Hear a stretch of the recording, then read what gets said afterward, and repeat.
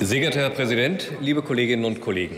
Am heutigen Abend beraten wir einen Antrag der AfD, bei dem wir lange rätseln durften, um was es sich eigentlich handelt.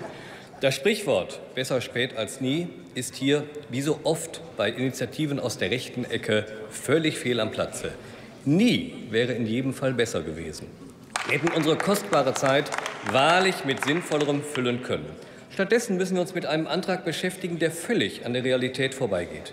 Man kommt nicht umhin, sich die Frage zu stellen, in wie vielen Fällen haben Sie denn bisher versucht, Fragen an die EZB zu stellen und sind an zu strengen Regularien gescheitert? Die Kollegen Schlick und Schäffler haben von diesen Möglichkeiten Gebrauch gemacht und ihre Antworten erhalten. Wenn Sie Fragen an die EZB stellen wollen, dann haben Sie doch die Möglichkeit dazu. Warum nutzen Sie die dann nicht?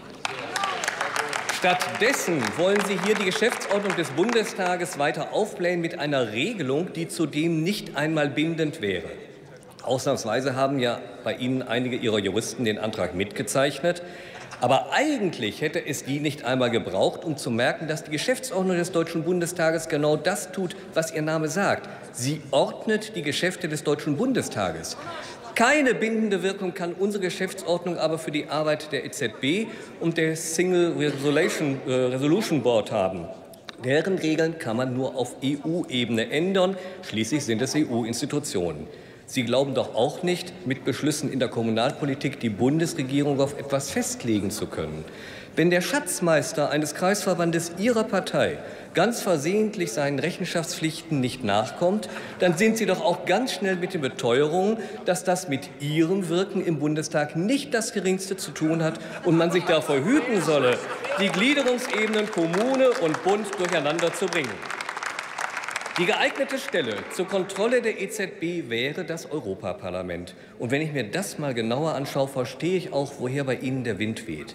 Von den ehemals sechs Abgeordneten Ihrer Partei ist dort ein einziger übrig geblieben. Alle anderen haben sich einer nach dem anderen verabschiedet, während sich ihre Partei immer weiter gen rechten Rand bewegt hat. Und der letzte Verbliebene hat offenbar kein Interesse daran, sich mit finanzpolitischen Detailfragen auseinanderzusetzen. Die Tatsache, dass Sie noch nie den Versuch unternommen haben, aus diesem Hause eine Anfrage an EZB und SRB zu stellen, macht deutlich, was Sie, meine Damen und Herren von der AfD, mit diesem Antrag wirklich wollen. Sie spielen mit der Angst der Menschen. Sie sehen Zwietracht an jeder Stelle, die Ihnen opportun erscheint. Vor der Europawahl entdecken Sie da selbstverständlich auch diese Ebene wieder für sich. Sie versuchen, statt einer seriösen Auseinandersetzung mit den EU-Institutionen den Verdacht der Intransparenz an ungeeigneter Stelle zu wecken. Klar ist, selbst mit einem Antrag zur Geschäftsordnung wollen Sie nicht die Arbeit hier verbessern, sondern die Ressentiments Ihrer Kernwählerschaft gegen internationale Zusammenarbeit befriedigen. Seriöse Arbeit sieht anders aus. Vielen Dank für die Aufmerksamkeit. Vielen Dank, Herr Kollege Strätmann. Die Kollegin Britta Hasselmann gibt ihre Rede zu Protokoll und es spricht als nächstes der Kollege Patrick Schnieder, CDU-CSU-Fraktion.